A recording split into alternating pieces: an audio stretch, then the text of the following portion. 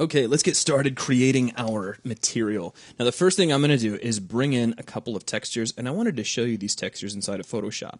So here's our first one. This is what we're going to be using for the base of our diffuse color. You see it's just some bricks with some grout coloration.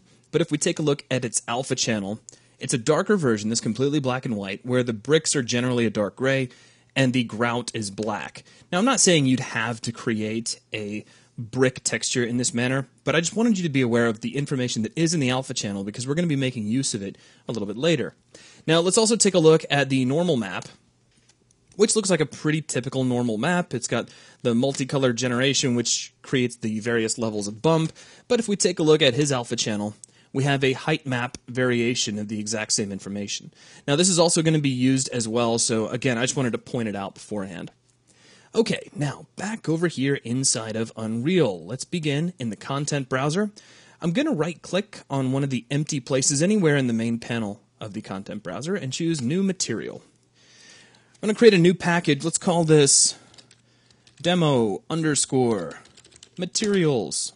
In the group, we'll put materials, and for the name, let's call this m underscore video demo.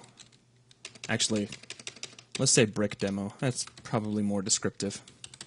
All right, so now we can press enter, and a couple of things happen. We get a brand new material here in the content browser. We also get the material editor opening up in the background, which is very convenient. So now we're completely ready to start editing. So the first thing I want to do is get our textures in here. So let's come into our package that we just created, and I'm going to click the import button and here are our two textures. So there's Wallstone Blocks Light and the normal map. Go ahead and bring those in. Now it's looking for some information.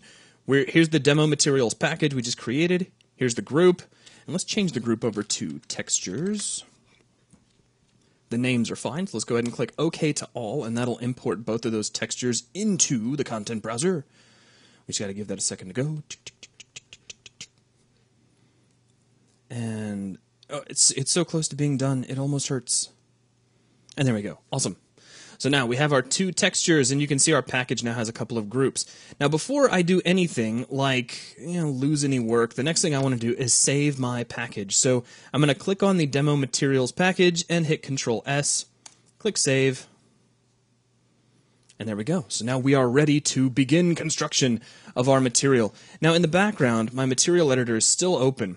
So what I'm going to do is select Wallstone Blocks Light, my texture here, go back into the material editor, and I want to create a texture sample that will actually allow us to plug this into the diffuse channel.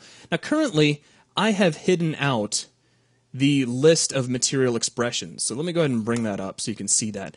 Generally, I work with this off, and I'll create a lot of my uh, my expressions either through hotkeys or by using the right click menu that you see here. Now for a texture, it's very easy. We can just hold down the T key and left click, and it'll create a texture sample for us. So now we can just plug this right into diffuse and check it out.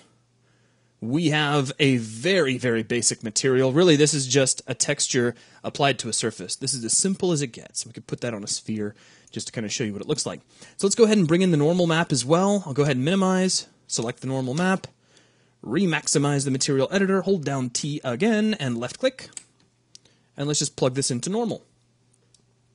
And you see we have some bump information. Now if we hold down the L key over here in the preview window, so put focus in preview, hold down L, you can move the lighting around and really see how that normal map is affecting your bump. Now that's good enough for starters. Uh, this is probably a good place to kind of pause for a moment. Um, so I'm going to go ahead and end the video. What I want you to do is click on the Apply Changes to Original Material button. And then let's close out of the material editor. Now here in the background, I've got this wall that's got my red bricks on it. Let's go ahead and drag this material onto the wall so we can kind of keep track of our work as we go along. We'll close this, go ahead and save your level and your package, and then we will continue in the next video.